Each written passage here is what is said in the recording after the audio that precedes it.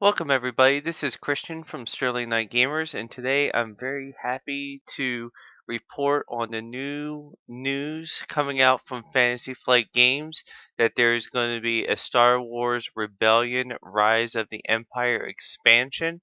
I've really enjoyed Star Wars Rebellion. I've made quite a number of videos on it and I've always seen that it's definitely been right for various expansions. Rogue One is definitely the easier aspects in order to just make a few adjustments to the gameplay. I still think further down the line there may be an expansion that allows it to go into either the prequel era or into the new current trilogy. Of course, you would need new units and maybe even a map expansion, but I think eventually we may get that. But this seems to be a smaller, more limited expansion, but I'm definitely looking forward to it.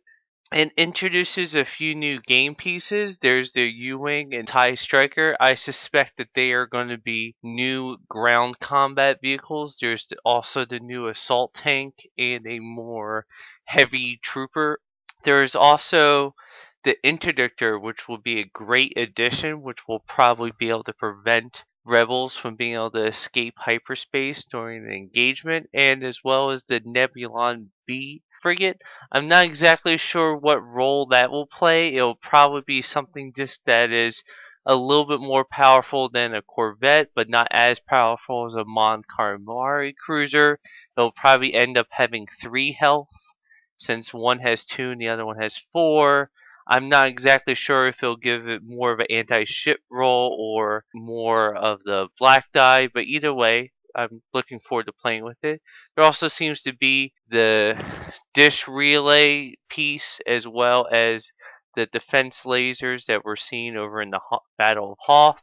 So those are just going to be additional ground components. There's going to be some new heroes, um, Cassian, Jyn Erso, Jabba the Hutt, non-Jedi uh, Force believer, of course, Director Krennic as well. There's going to be several dozen new missions as well as new combat cards and supposed to be over a hundred new cards. So that's definitely going to be interesting. I like the example that they gave that you could secure the Death Star plans, which prevents the Rebel players from being able to use Death Star plans in order to take out the Death Star.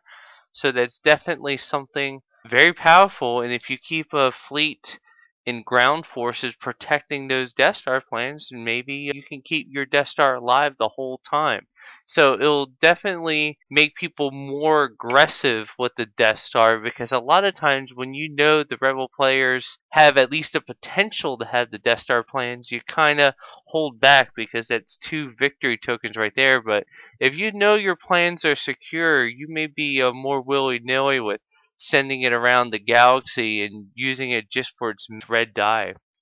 So I'm really looking forward to this.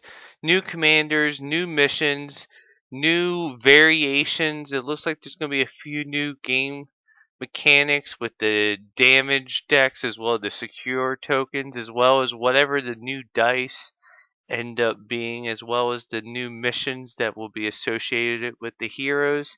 Cassian's individual mission is particularly interesting. The secret mission that allows you to draw some of the upcoming mission cards and then be able to choose one or two of them. It seems great.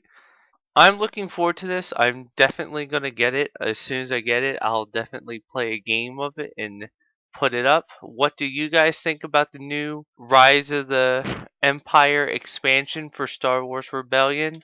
Please describe in uh, the comment section below. Goodbye.